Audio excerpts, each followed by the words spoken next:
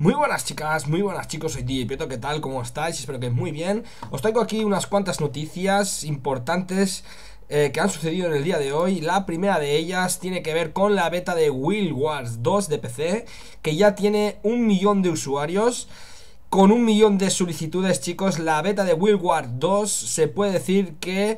Eh, es un título muy esperado y que además en apenas 48 horas se ha logrado un millón de solicitudes. Eh, según han comentado ArenaNet a través de su cuenta oficial de Twitter, están totalmente asombrados y excitados por la beta de Guild Wars 2 que el viernes abrirá el plazo de solicitudes para la beta abierta. Eh, no, perdona, que el viernes abría el plazo para la beta abierta, perdón, eso sí, lo he leído mal y que se han encontrado en apenas 48 horas con un aluvión de solicitudes muy bastante importantes y es que la gente tiene ganas ya de probar la nueva beta de Guild Wars 2, un juego que promete un montón. O sea que si queréis solicitar eh, el acceso a la beta, eh, todavía podéis solicitarla desde la página oficial de Guild Wars 2. Eh, las siguientes noticias tienen que ver con fallos en varios juegos que terminan de salir. Eh, uno de ellos es Syndicate, eh, el cual nos indican que ha sufrido cuelgues durante partidas cooperativas y se puede deber a un conflicto con la party chat que puede originar problemas. lo que han dicho el comunicado oficial de EA es que si estás experimentando cuelgues en la consola o con este juego durante una partida multijugador cooperativa, puede ser a un conflicto entre la Xbox Party.